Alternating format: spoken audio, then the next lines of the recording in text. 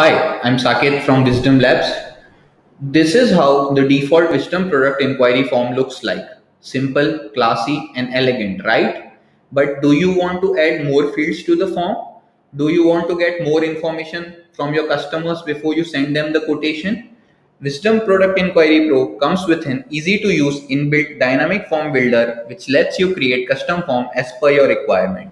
Let me show you how you can create a custom form using WISDM Product Enquiry Pro.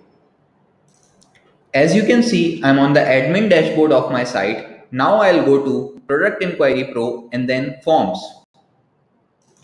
Now I'll click on Add New.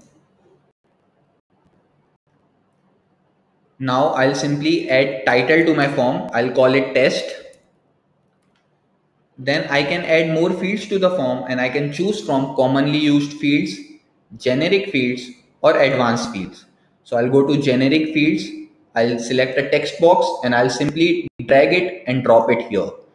I'll do the same to the checkbox. I'll simply drag it and drop it here. Then I'll click on publish. Now that you have created a custom form, you can enable it by simply going to Product Enquiry Pro and then Settings. Under Settings, go to Form. Under Form, create custom form, select Test and then scroll down and click on Save Changes. Your form has been successfully created. Now I'll show you how it looks like on the front end.